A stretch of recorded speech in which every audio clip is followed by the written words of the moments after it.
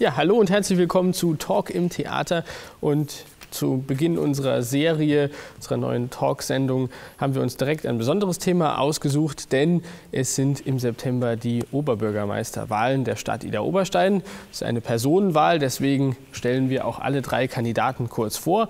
Und einen Kandidaten haben wir jetzt hier, nämlich Frank Frühauf von der CDU. Hallo, schön, dass Sie Zeit gefunden ja, haben. Sehr geehrter Herr vielen Dank für die Einladung. Ja, gerne. Wir wollen versuchen, so ein bisschen jetzt äh, möglichst ähm, neutral zu bestimmten Themen mal so die Positionen auszuleuchten und es so ein bisschen äh, darzustellen, eben ähm, wie sich das hier in der Region darstellt, Ihrer Meinung nach, was es da so für Probleme gibt und für Lösungsansätze möglicherweise. Aber das erste wäre mal so ein bisschen ein, ein bisschen was Persönliches, denn es ist ja eine Personenwahl. Das heißt, wir können uns ja ruhig auch mal ein bisschen mit Ihnen selbst ähm, beschäftigen. Die erste Frage, wie sind Sie denn überhaupt zur Politik gekommen? Ja, das ist äh, eine ganz kurze Geschichte eigentlich. Ich bin ja Unternehmer gewesen, jahrelang, und war sehr aktiv äh, im Verband der Wirtschaftsjunioren äh, auf Landesebene, auf Bundesebene, aber auch auf Weltebene. Und irgendwann wurde die CDU auf mich aufmerksam und hat mich gefragt, und zwar mein Vorgänger im Amt, der Peter Simon, äh, Frank, hast du nicht Interesse, dich mal auf die Liste des Stadtrates und des Kreistages draufsetzen zu lassen?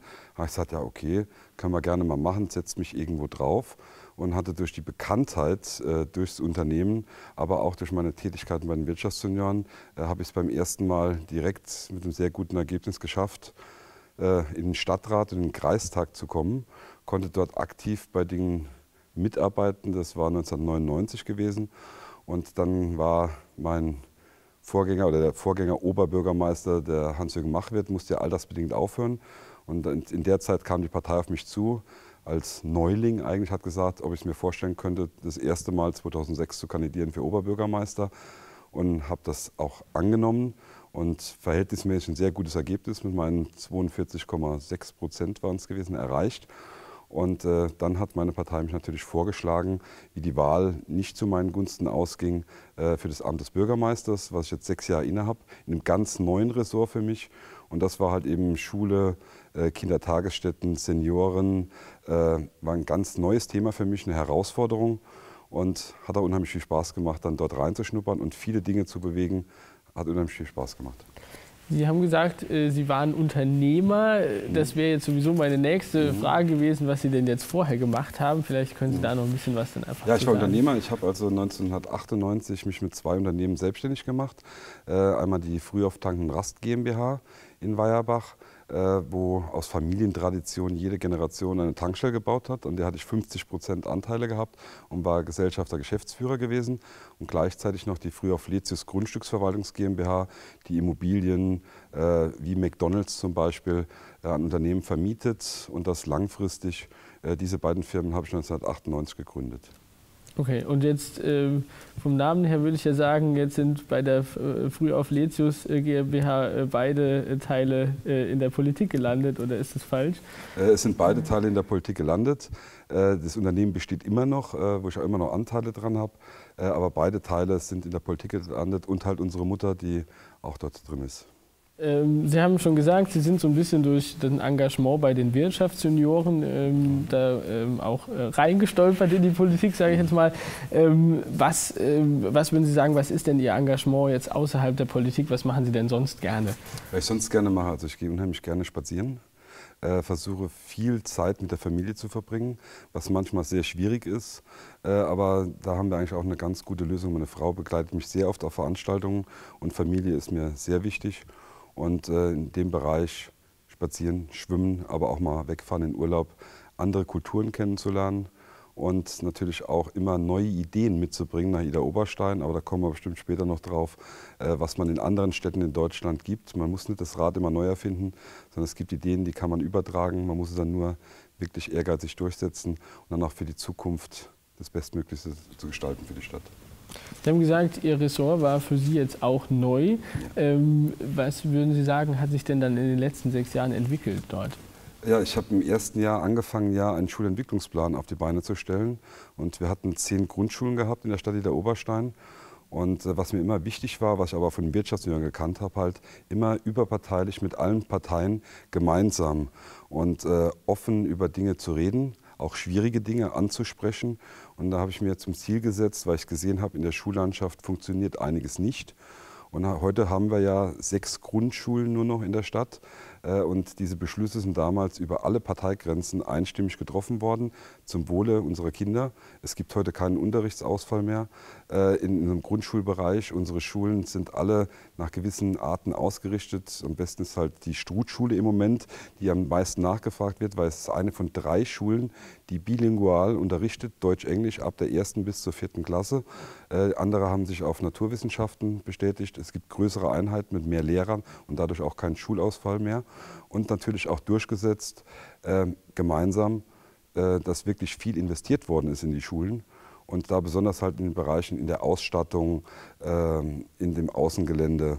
Wir haben es geschafft, nach äh, neun Jahren Kampf war es jetzt, hat mein Vorgänger schon angefangen, im letzten Dezember, dass auch die fünfte Schule, die neue Schule IDA, äh, auch zur Ganztagsschule wurde.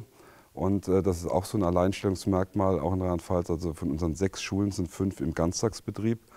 Und da bin ich also unheimlich stolz drauf, dass wir das wirklich durchgesetzt haben. Und am Anfang gegen große Widerstände, aber das ist halt eben auch für das, was ich stehe. Äh, ich stecke auch mal die Schläge ein, wenn es von außen kommt äh, und fühle mich natürlich auch sehr gut danach, wenn die Leute sagen, es war genau der richtige Weg. Und, äh, aber sowas geht halt eben auch immer nur gemeinsam. Das passt jetzt eigentlich ganz gut zum nächsten Thema, nämlich äh, dem demografischen Wandel. Ich meine, das Problem ist im Prinzip bekannt. Die Bevölkerung wird äh, immer älter, statistisch gesehen. Es kommen auch weniger Kinder zur Welt und die Kinder, die dann zur Welt kommen, die hauen, flapsig gesagt, irgendwann ab auf der Suche nach Jobs, Studium und so weiter und dann äh, entvölkert sich die Region. Äh, wie das weitergehen könnte, sieht man zum Beispiel in Frankreich oder auch in Ostdeutschland teilweise, wo es dann so Geisterdörfer und Geisterstädte gibt, wo noch ein, zwei Fenster beleuchtet sind und ansonsten vielleicht nichts mehr. Ich übertreibe jetzt ein bisschen, aber kann man das auch für Ida Oberstein so sagen? Stirbt Ida Oberstein aus? Nein. Ein ganz klares Nein, sondern Ida Oberstein ist ein Mittelzentrum im Landkreis Birkenfeld. Äh, was Sie ansprechen, ist auf jeden Fall der Fall, auch in den umliegenden Ortsgemeinden, teilweise Dörfern. Äh, Ida Oberstein hat aber eine sehr gute Infrastruktur.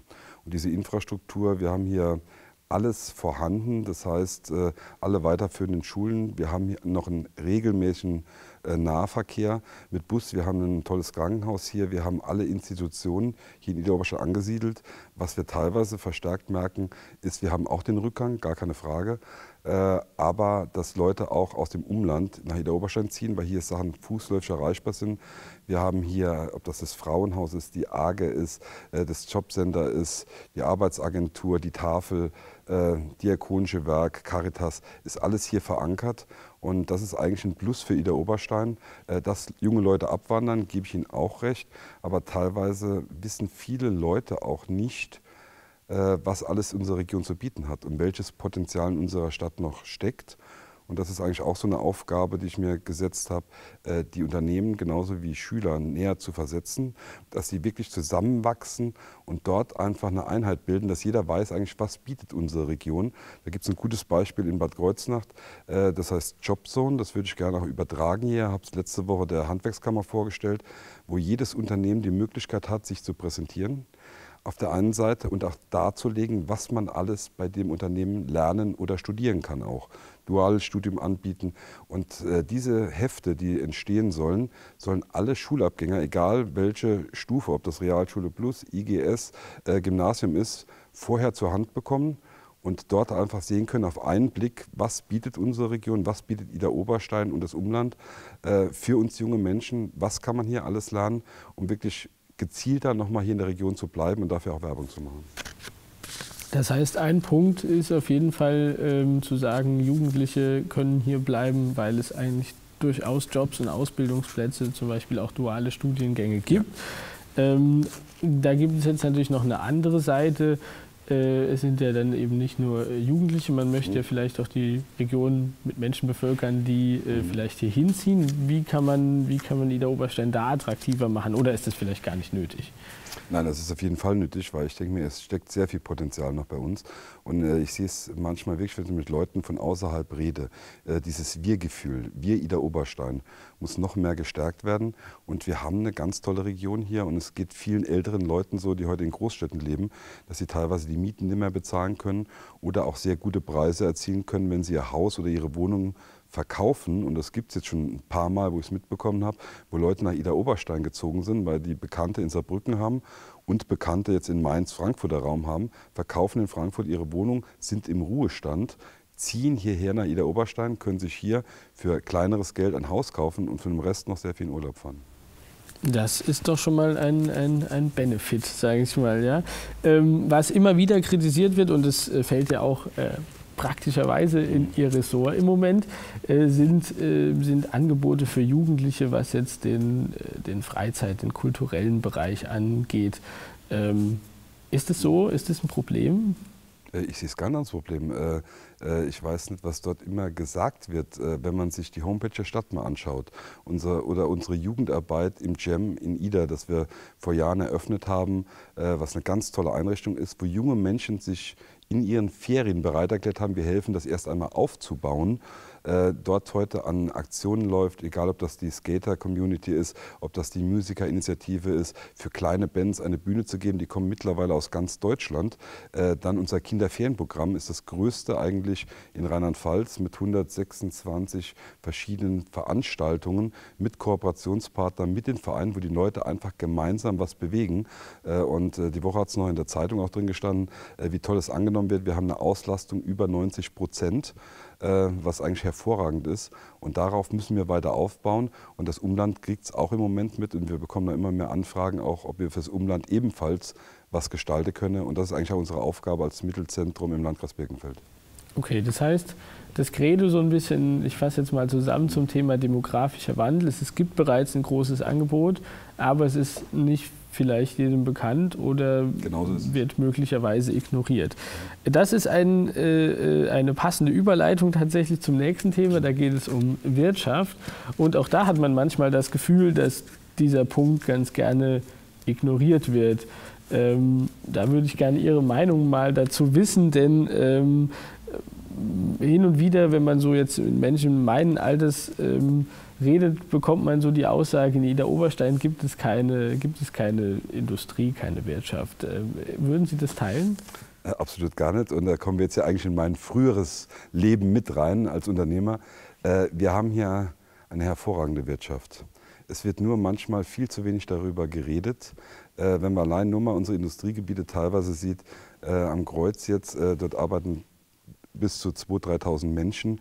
Wir liefern weltweit äh, verschiedene Automobilteile. Wir haben eine ganz tolle Struktur aufgebaut äh, von einigen Unternehmen, deswegen darf ich ja keine Namen nennen im Moment, äh, weil das ja Werbung wäre, aber was dort alles produziert wird, bloß das Problem ist ebenfalls, ich nenne einfach mal ein Beispiel.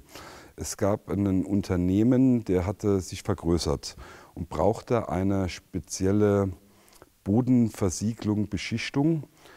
Und da gibt es auch Firmen in der Oberstadt, die machen das. Das hat erst mal lange gedauert, bis die beiden sich gefunden haben. Und dann brauchte man für diese Bodenbeschichtung spezielle Schleifscheiben, um diese Qualität herzustellen. Und da hat er den Unternehmer angerufen, es würde sich verzögern, weil seine Schleifscheiben bekommt er aus Amerika von einer anderen Firma. Und die hätten äh, die Lieferung noch nicht bekommen. Und im Endeffekt kam eigentlich raus, dass die Firma, für die er gearbeitet hat, diese Schleifscheiben für Amerika hergestellt hat. Und die eine wusste von dem anderen nicht. Und da müssen die Netzwerke noch enger gezogen werden. Es müssen äh, mehr Unternehmensstammtische kommen, dass einer weiß, was der andere tut. Und das andere ist genauso auch logistisch besser aufzustellen, weil es gibt heute viele Firmen, die gar nicht wissen, dass sie den gleichen, an den gleichen andere Firma liefern und jeder fährt jede Woche noch mit dem gleichen, mit seinem eigenen Fahrzeug dorthin, könnte man vielleicht noch optimieren und dadurch für jeden noch etwas äh, günstiger in dem Moment produzieren. Ob jetzt ein Laster hinfährt mit etwas mehr Teile oder ob jetzt fünf Laster hinfahren, äh, ist schon ein großer Unterschied. Da ist noch einiges an Potenzial da. Man muss es nur wecken und auch dann zielstrebig umsetzen. Das heißt, die nächste Frage nach einem Konzept für die Zukunft hat sich da fast schon beantwortet. Gibt es noch was da hinzuzufügen? Ja, mehrere Sachen. Ja, bitte. Weil voller Ideen, äh, was mir steckt. Und das sind auch so Dinge, was mir aufgefallen ist, was brauchen wir noch hier in der Region. Zum Beispiel würde ich gerne äh, eine Art Bürgermesse, wo alle Institutionen, Vereine die Möglichkeit bekommen, einmal im Jahr oder alle zwei Jahre, äh, die Möglichkeit haben, sich zu präsentieren und wir als Stadt, Kommune Rahmenbedingungen schaffen und sagen, hier habt ihr eine Halle, hier könnt ihr euch präsentieren, ob das ein Sportverein ist, ein kulturtreibender Verein ist, ob das äh, Nahe TV ist, alle auf einen Schlag sich präsentieren um das Ehrenamt noch mehr zu stärken und dort den Bürgern die Möglichkeit zu geben, sich zu informieren, was bietet unsere Region alles. Wir haben 70 sporttreibende Vereine in der Region, wir haben also Ida Oberstein, äh, wir haben 30 kulturtreibende Vereine in Ida Oberstein und jeder sucht halt händeringend auch nach Nachwuchs, weil äh, demografischer Wandel ist da. Wir haben immer weniger junge Menschen, die auch die Zeit dazu haben, sich zu engagieren. Und das müssen wir noch mehr fördern und auch noch mehr stärken. Also das ist eine äh, Sache. Das andere wäre für mich auch eine ganz besondere Sache, diese Unternehmen zu vernetzen, dass es eine Art, wie soll man es nennen, Rat gibt, einen Rat von Unternehmern und Persönlichkeiten aus der Region, die einen gewissen Topf haben und darüber mitentscheiden können, was mit diesem Geld passiert in der Region und sich da einbringen können wie eine Art Stiftung äh, um halt die Heimatkultur mehr herauszustellen, um Aktionen mitzuplanen, mitzufinanzieren, aber dass die Unternehmer und diese Persönlichkeiten, die vielleicht schon im Ruhestand sind aus der Region, gemeinsam dort sitzen und losgelöst sagen, äh, wir bringen unsere Region weiter in die Zukunft. Das sind das sind Ideen und einige Unternehmen sind da immer bereit, äh, Sachen zu unterstützen und auch finanziell zu unterstützen. Aber sie wollen auch die Mitentscheidungsgewalt haben für die Zukunft, was mit dem Geld auch passiert. Würden Sie das jetzt dann auf die, auf die Stadt eng beziehen oder hat es auch natürlich, also ich meine, ähm, der Kreis Birkenfeld insgesamt hat natürlich ja auch diese Problematiken und äh, auf Kreisebene gibt es ja jetzt Initiativen, die zu, gerade zu diesem letzten Thema, was diesen Rat angeht. Ich denke, das muss man differenziert betrachten. Äh, ich denke, es ist wichtig, der Landkreis Birkenfeld muss meiner Ansicht nach wachsen. Und er hat nur die Möglichkeit zu wachsen, wenn er eine starke Stadt wie der Oberstein hat. Und dann bestehen alle Türen und Tore offen, für in die Zukunft zu gehen. Aber dafür muss es eine ganz starke Stadt wie der Oberstein geben, auch für den Landkreis Birkenfeld. Aber ich glaube, das ist dem Landkreis auch bewusst. Ja, ein weiteres Thema, was jetzt zum Beispiel, ähm, das kann ich jetzt aus eigener Erfahrung sagen, im Industriegebiet am Kreuz immer mhm. mal wieder aufkommt, sind äh, natürlich Infrastrukturfragen. Und zwar äh, da geht es sowohl um echte Autobahnen als auch um Datenautobahnen. Mhm. Ähm, wie, wie kann man das noch ein bisschen äh, fördern, dass es da keine Flaschenhälse mehr gibt? Ja, da sind wir dran im Moment schon. Äh, es laufen Gespräche mit OEE, genauso wie mit anderen Firmen. Also OEE wird im Moment ein äh, Glaskabelnetz, äh, kommt über Dickesbach und äh, über Dickesbach und Gewerbegebiet Dickesbacher Weg äh, kommt ein Datenkabelnetz runter. Das ist in der Planung im Moment und das soll auch dann weiter durchgeführt werden in das Industriegebiet. Aber es gibt dort auch noch andere Probleme. Äh, das betrifft teilweise die Gasversorgung, teilweise auch die Stromversorgung, weil die Unternehmen so massiv gewachsen sind und heute, was heute so no moderne Maschinen von den großen Anbietern dort wirklich an Strom verbrauchen, das ist auch ein Punkt, das auf meiner Agenda steht, dass man das noch intensiver, weil es muss heute eigentlich gewährleistet sein, auch bei einem Mittelzentrum Ida Oberstein, dass jedes Unternehmen, aber auch jeder Bürgerin und Bürger die Möglichkeit hat auf schnelles Internet.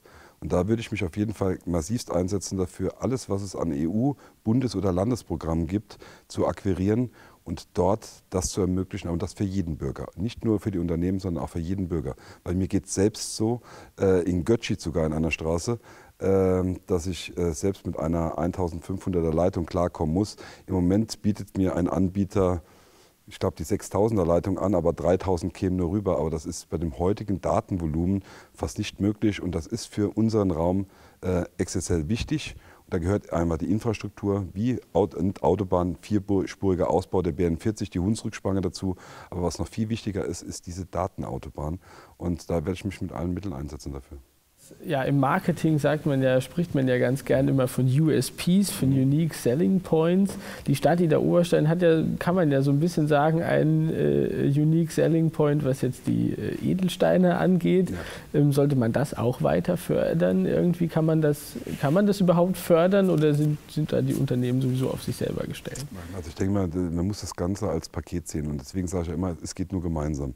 Wir haben mehrere Highlights in der Stadt Ida Oberstein ganz klar weltweit bekannt. Äh, äh, sehe ich immer überall. Es gibt manche Länder, wo ich auch selbst bereist habe, und ich war, glaube ich, fast in allen Ländern auf der Welt gewesen, äh, kennen viele Ida Oberstein. Manche kennen Rheinland-Pfalz nicht, äh, Deutschland kennen sie, aber Rheinland-Pfalz ist äh, eigentlich uninteressant. Aber Ida Oberstein durch die Schmuckindustrie ist sehr bekannt. Und dieses Fund muss man nutzen, weil es gibt heute sehr viele, und ich war zuletzt in Bad Kreuznach, habe ich alte Bekannte der Wirtschaftsunion aus Japan getroffen, die im Moment auf Europatour sind und teilweise auch sich in Unternehmen einkaufen, wo wirklich heute den Standort Deutschland wieder hervorheben. Und diese Leute muss man einladen, hier auch mal das traditionelle Spießbraten essen und die Vorzüge der Region zu zeigen. Äh, und das sind Investoren, die auch Geld mitbringen. Eine Shoppingtour der etwas anderen Stadt, kann man sagen. Genau ist es. Ja. Ähm, was jetzt eine, eine Sache ist, die man immer wieder so ja, im, im, im Bürgergespräch, sage ich mal, äh, hört, ähm, ist eine Problematik, die jetzt vielleicht weniger die Stadt insgesamt als mehr jetzt die Verwaltung und den Rat mhm. betrifft, nämlich ähm, dass man ähm, vorwirft, dass äh, bestimmte Projekte sehr, sehr lange sich ziehen oder es da zu keiner Einigung mhm. kommt. Ja, also böse Zungen behaupten, dass das schöne Gebäude, in dem wir hier sitzen, eines der wenigen Bauprojekte der Stadt, die der Oberstein ist, das gelungen ist. Mhm. Äh, ich würde es jetzt nicht so drastisch sagen, aber woran, woran liegt das, dass sich jetzt auch zum Beispiel Dinge wie die Schwimmbaddiskussion mhm. ähm, so lange hinziehen, ohne dann oder ohne lange zu einem konkreten Ergebnis zu kommen. Also ich meine, man hat ja dann auch zum Beispiel äh, Planungskosten, äh, äh, Gutachten, für die man, also für den Gesamtwert man fast wahrscheinlich schon ein kleines Schwimmbad bauen könnte. Gebe ich Ihnen ähm, vollkommen recht. Wie, äh, wie, wie, kommt es dazu ja. und was kann man dagegen machen? Also es ist ganz einfach. Ähm ich denke mir, diese Transparenz, diese Bürgernähe, die Leute mit einbeziehen, ist meiner Ansicht nach der Schlüssel zum Erfolg in, diesen, in solchen Fällen. Man muss die Leute vorher mit einbinden, für gewisse Aktionen begeistern, im Vorfeld informieren. Und äh, da müssen wir noch an uns arbeiten, dass wir das noch transparenter machen, noch bürgernah machen, weil dann ist eigentlich der Erfolg, und das ist, äh, denke ich mir, da sind wir uns alle mit allen Parteien eigentlich einig, mit denen ich auch gesprochen habe, dass man wirklich einfach offener über Dinge, auch Probleme reden muss, die wir haben, die wir von Aufsichtsbehörden bekommen und das noch transparenter auch der Bürgerschaft machen. Und dann geschlossen und gemeinschaftlich kriegen wir solche Dinge schneller umgesetzt. Und wenn ich die Planungskosten selbst sehe, Sie haben sie angesprochen, äh, wir haben glaube ich von 600.000 Euro damals geredet, von Planungskosten, das war teilweise noch vor meiner Zeit, auch wo ich im Stadtrat war. Äh, das ist eine Zeit, die einfach zu lange ist. Man hätte vorher sagen müssen, das und das ist möglich, das und das geht. Die Entscheidungen, die damals getroffen worden sind, äh, baut man erst ein Bad, wie Sie gerade angesprochen haben, in Tiefenstein, da fangen wir erst mit dem Kombibad an, äh, ist auch eine Entscheidung, die ist damals getroffen worden zum Wohle. Es war meiner Ansicht nach damals die falsche. Damals war es die richtige irgendwo gewesen, weil ein gewisser Betrag von 500.000 Euro im Raum gestanden hat. Im Nachhinein hätte was anders da machen sollen. Und da muss man diese Fehler auch zugeben und muss sagen können, wir hätten es damals anders da anpacken müssen und daraus für die Zukunft auch lernen und die Bürger früher und intensiver mit einbeziehen. Okay, also Bürgerbeteiligung auch als ja, wichtiges absolut. Thema. Ähm, Transparenz und ja. dass die Bürger auch wissen, von was geredet wird. Man muss die, ich sage immer, das zweite Programm, Zahlen, Daten, Fakten auf den Tisch legen und dass jeder das auch einsehen kann. Da kann man über gewisse Dinge diskutieren oder Ideen mit einbringen. Und äh, egal von wem es kommt, solange es den Bürgerinnen und Bürgern hier in der Region gut tut, muss man es eigentlich unterstützen. Das ist äh, ein schönes Schlusswort zum Thema Wirtschaft. Ähm, wir gehen noch ein bisschen weiter ähm, zu einem anderen Thema, wo sicherlich auch äh, Bürgerbeteiligung ganz wichtig ist. Ähm, es geht mir jetzt noch ein bisschen um den äh, Tourismus und um den ganz konkret auch um den Nationalpark, der jetzt ja in äh, Planung ist und der ja auch definitiv äh, kommt. Ähm, Ida Oberstein ist jetzt ja nun nicht direkt Gebiet im Nationalpark, aber ein, Anrainer kann man sagen. Ähm, sollte man das jetzt deswegen dann als Stadt ignorieren oder gibt es auch da Möglichkeiten, sich einzubringen? Also, Also in dem Moment muss ich Ihnen direkt widersprechen. Wir sind kein Anrainer, sondern ich sehe Ida Oberstein als eins der Tore zum Nationalpark. Und es ist für unsere Region eine riesengroße Chance, weil wir haben die Infrastruktur, wo ich vorhin schon mal angesprochen habe. Wir haben hier äh, eine Bahnverbindung. Wir haben hier Busse, die in alle Richtungen des Landkreises funktionieren. Und eigentlich müssen wir der äh, Tore werden, dass die Leute hier ankommen können, teilweise in Busse oder durch die Stadt gehen können äh, und mit Bussen dann zum Nationalpark. Und für mich, ich sehe es als riesengroße Chance und ich bin froh, dass wir diese Chance nutzen und auch da wirklich in dieser Gemeinschaft mit drin sind und jetzt am Kämpfen sind, dass wir, auch, obwohl wir nicht direkt dran liegen, eins der Tore zum Nationalpark werden. Es wird mehrere geben, ich glaube fünf oder sechs Stück, aber eins muss ganz definitiv heißen Ida Oberstein. Und wie, ähm, wie kann das realisiert werden?